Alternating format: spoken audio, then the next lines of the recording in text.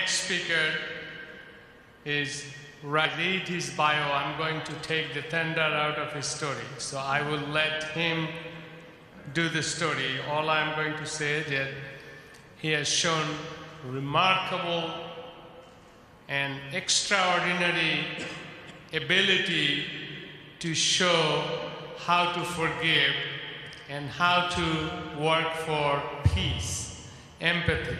So I think we're very fortunate to have him here, Rais Bhuiyan.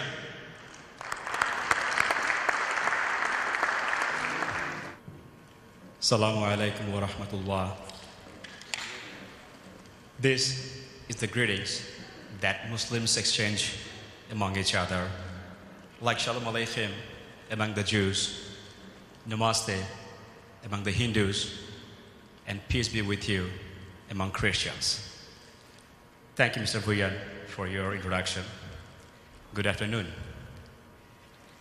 Well, in an era where we see every day, all around us, violence motivated by revenge, the concept of forgiveness may seem as old, that is not true.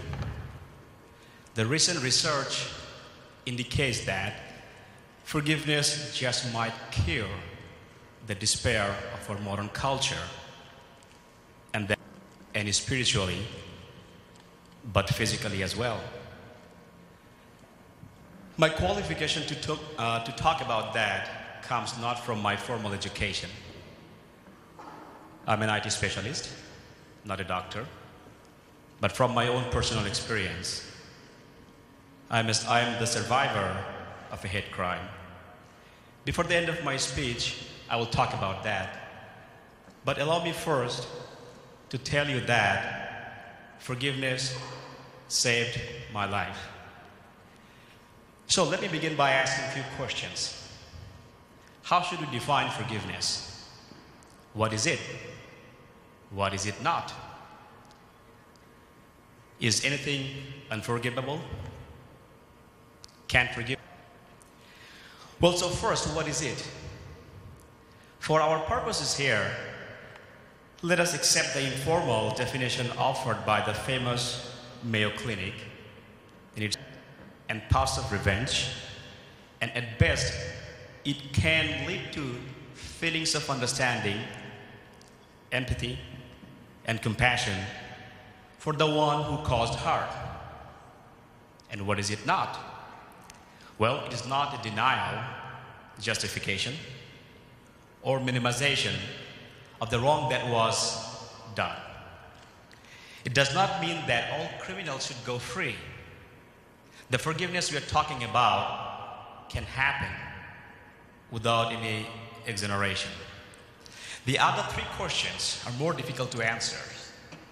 But let us assume for the moment that, impossible as it sounds, nothing is unforgivable health, both mentally and physically. If this is true, the implications for the healthcare professionals are profound. To reconnect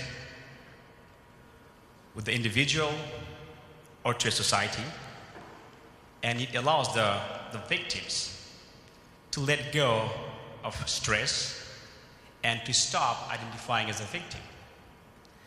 One of the first people who studied this as a science is Robert Enright from the University of Minnesota and the founder of International Forgiveness Institute. In the 1980s, he concluded that failure to forgive can result in loss of sleep, higher blood pressure, greater risk of heart disease, and even decreased life expectancy. Researchers like Kathleen Lawler, C.E. Thurston, Kevin Sebold, and Zhu Zheng have come to this conclusion that forgiveness, decreasing anxiety and depression, number three, decrease poor habit such as alcohol and cigarette use, Number four, increasing physical fitness by decreasing the draw on glucose caused by rumination. At Duke University, researchers studying HIV patients noted the strong correlation between forgiveness and improved immune system function. They also noted that the forgiveness result in improved mortality, improved mortality rates across the general population. And this, this research is just a scratch of the surface. I am not a researcher, and I can talk only from my own personal experience. And my story begins 10 days after 9 11. I was working at a bandana, sunglasses, baseball cap, and he had a double barrel shotgun that he pointed directly at my face. I offered him the cash and begged him not to shoot me. He was not looking at the money though, he was looking at me. And then he mumbled a question Where are you from? Before I could say more than excuse me, he shot me from four feet away with a double barrel shotgun. And I couldn't believe that he shot me. I felt it first, like a million bees stinging my face, and then I heard the sound like an explosion. I looked into the floor and saw blood was pouring like an open faucet from the right side of my head.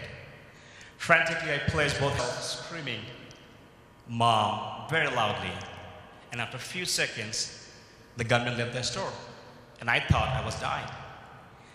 I ran to the next door barber shop and, and I grabbed one of them and I screamed, Please call 911, I'm dying, I wanna die today.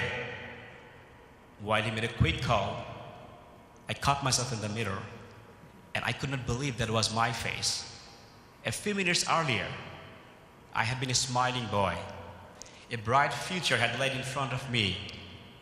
But suddenly, in the instant it takes to pull the trigger, I was ugly and half dead.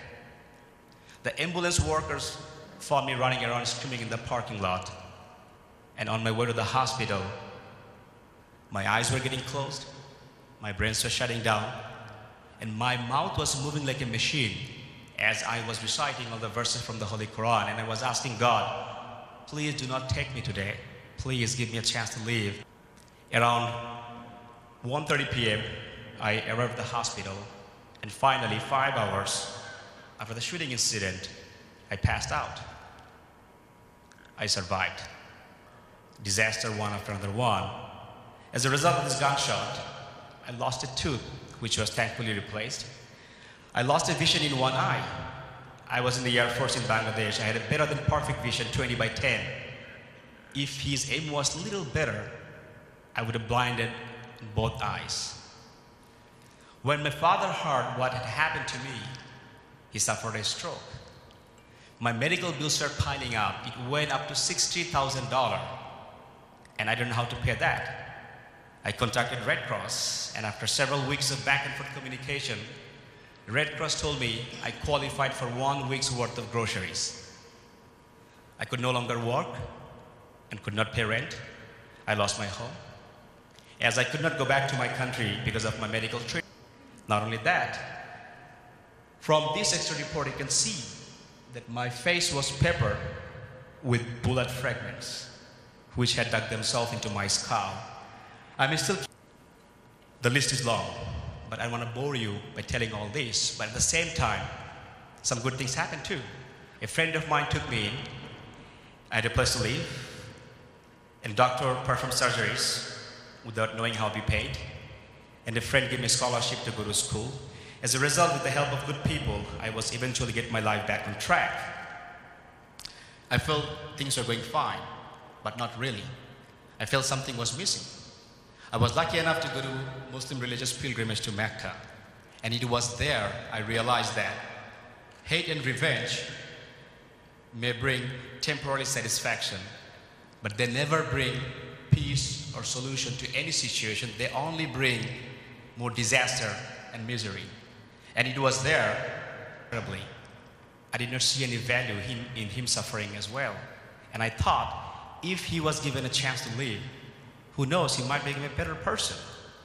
So, with clarity, I knew what to do. The US Supreme Court asking for clemency for my shooter, Mark Stroman. But despite all my efforts, Mark Stroman was executed in July 20, 2011. But before that, he was a changed man. Let me show you a 55 seconds video that, uh, that Mark uh, gave a week before he was executed. Uh, Mr. Reyes, thank you for your your inspiring act of, of compassion towards me. You have forgiven me. You have forgiven the unforgivable. And I, have a lot of love and respect for you. For the Patels, the Hassans, thank y'all for what y'all have done. Uh, the question is, if I don't make it, what do I want you to carry on? What you're doing today is, is remarkable. To the world, put the world to rights. You know, that's, that's a remarkable thing you're doing. And just continue with the human rights movement because you are touching so many people. I've been getting so inspired now. And that right there strengthens me. So, dude, just rock on. Thank you for giving me.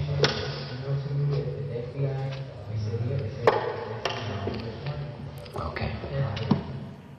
So clearly, this man had changed. He benefited from my forgiveness, and I had benefited too. From the moment I decided to formally and publicly forgive him, I found a peace and wholeness that had been missing since the day of the shooting. And finally, I felt like that heavenly Lunesta butterfly came into my forehead and made me feel better. I no longer identified as a victim, but as a survivor, and eventually as a thriver. I think nothing is.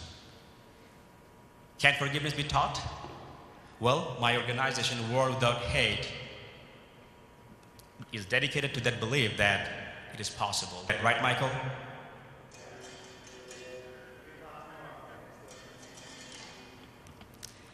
So, does forgiveness have any impact upon human health? Clearly, many people believe that, and my story proves that. I hope that someone from this audience will take up this challenge and continue that research. I humbly thank you for your attention. Thank you.